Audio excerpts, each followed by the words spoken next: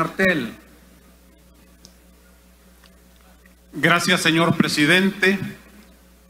Quiero comenzar por dar un saludo a todos los amigos y amigas que están presentes en este Salón Azul esta mañana para ser testigos de este triunfo que es de ellos.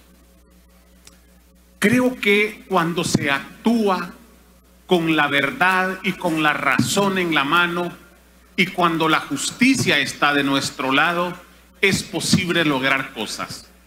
No ha sido fácil para los trabajadores de imprenta nacional llegar a este momento en que por unanimidad se va a aprobar su petición. Ha sido una lucha dura, ha sido una lucha difícil, que ha tenido incluso que pasar por momentos en que se detuvieron las labores de la imprenta nacional para poder hacer oír su voz. Pero al final ha triunfado la justicia, ha triunfado el derecho de los trabajadores. Y esta, este mediodía, la Asamblea Legislativa lo único que va a hacer es respaldar ya con hechos concretos ese aumento salarial al que han tenido derecho y por el que tanto han luchado los trabajadores de la imprenta nacional. Los trabajadores me pidieron que agradeciera a todos los grupos parlamentarios.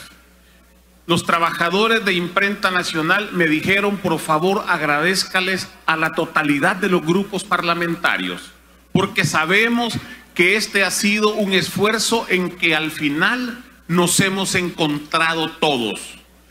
Qué bueno que para cosas buenas que benefician a los trabajadores, también hemos logrado un importante acuerdo.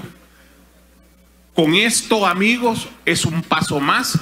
Un saludo de nuevo a todos los trabajadores de la imprenta nacional un abrazo a todos compañeros y a seguir adelante que con organización y con lucha se logran los objetivos justos a los que ustedes tienen derecho. Un abrazo para todos y gracias señor presidente.